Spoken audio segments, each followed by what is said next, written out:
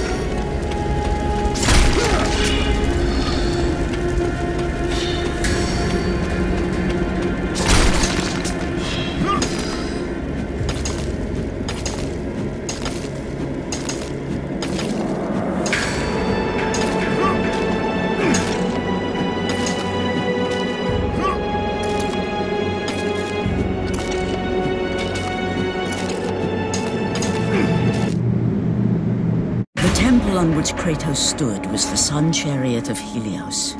The very chariot that the fire steeds pulled across the sky every day, allowing the brilliance of Helios to shine down on all mankind. Kratos. Athena! What madness has befallen us?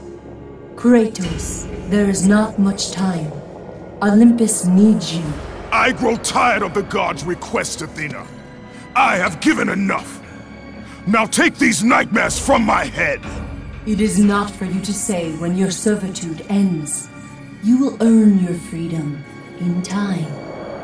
But for now, Olympus needs your unquestioning obedience. The god of the sun has been torn from the sky. This temple on which you stand is the chariot of Helios. Without their master to rein them, the fire steeds have driven the sun chariot into the earth. And without Helios, there is no one to keep Morpheus from seizing permanent power. Many of the gods have fallen to a deep slumber. Soon, all will succumb to the black grip of Morpheus. What would you have me do? You must find Helios and return him to the sky lest the world of gods and men be lost forever. Only his light can release the grasp of Morpheus. Athena! Athena!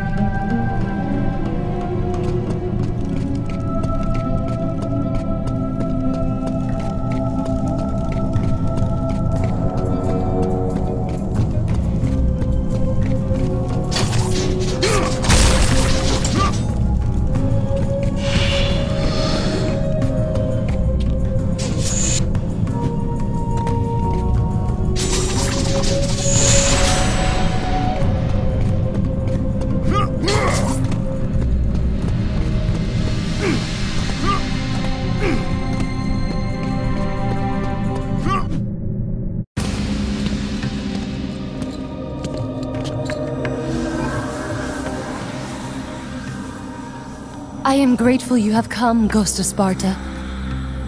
The Titan Atlas has been freed from the pits of Tartarus, and has taken my brother Helios from his rightful place in the sky. What does Atlas want with the Sun God?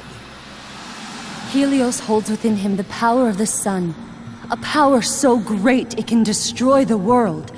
It cannot be trusted in the hands of a Titan. Please, take the Sun Shield from his throne, walk through the gates of Olympus, and you will find me. Hurry, Kratos. Even now, my brother suffers at the hand of Atlas.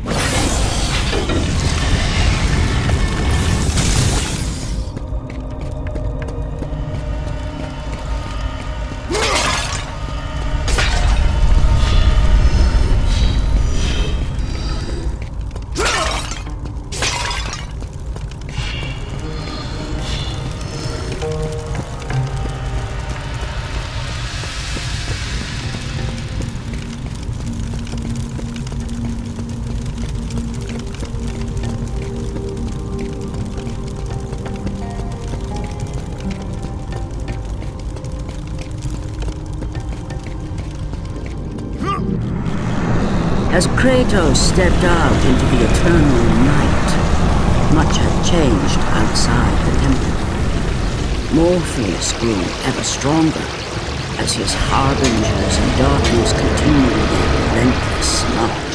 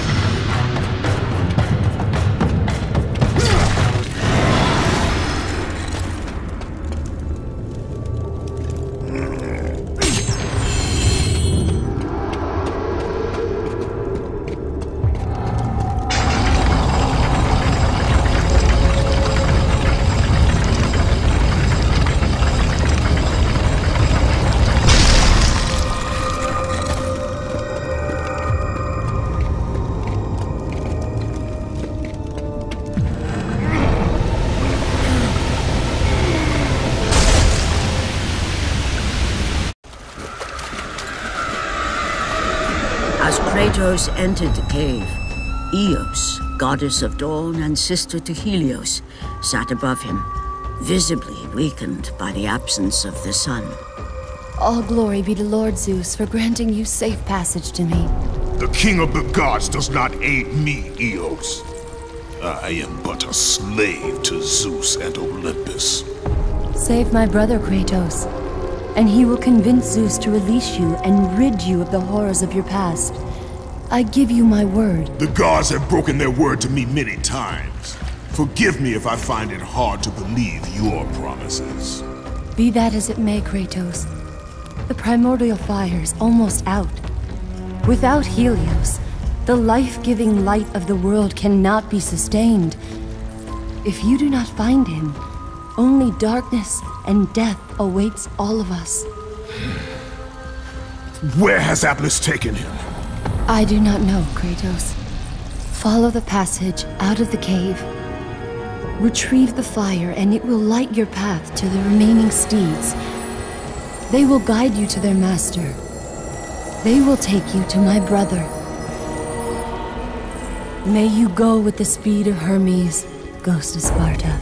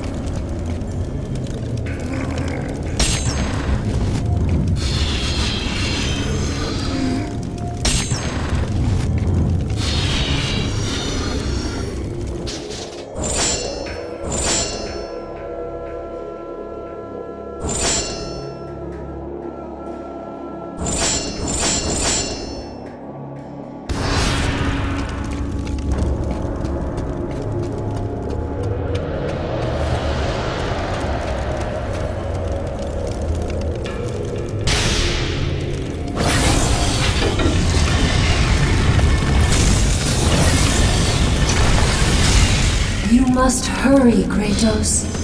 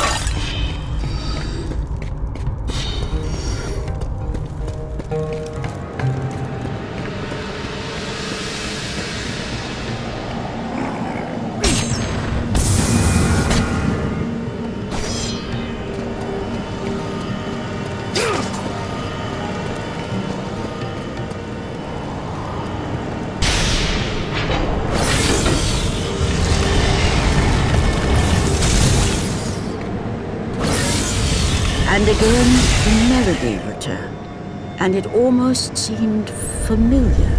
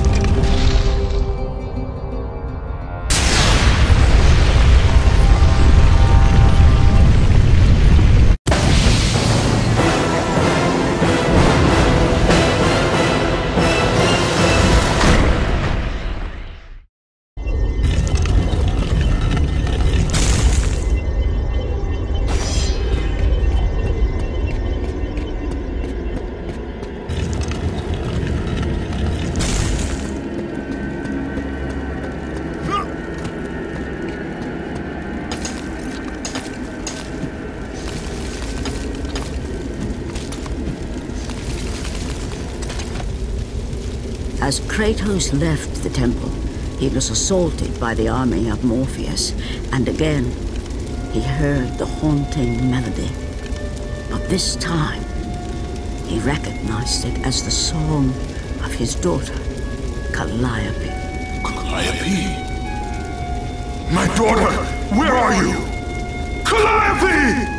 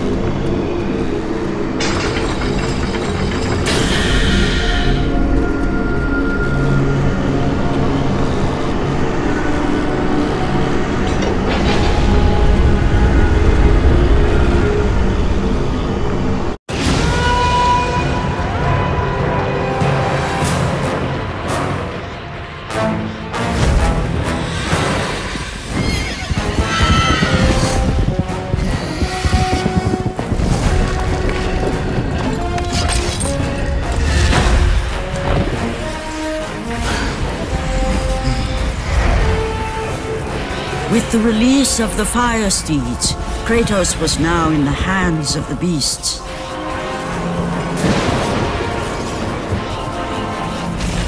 And where they would take him, he did not know.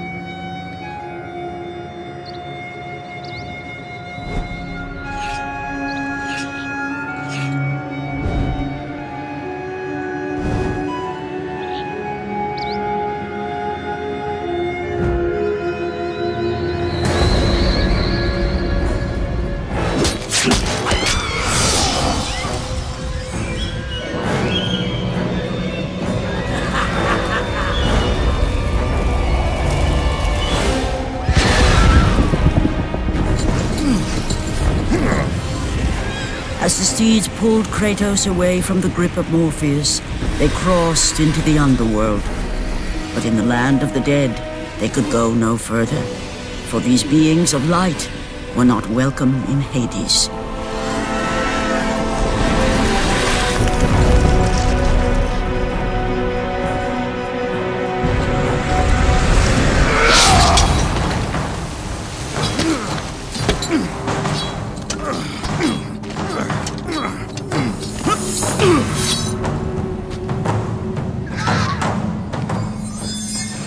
Kratos found himself on the very edge of Hades, the land where no mortal had set foot.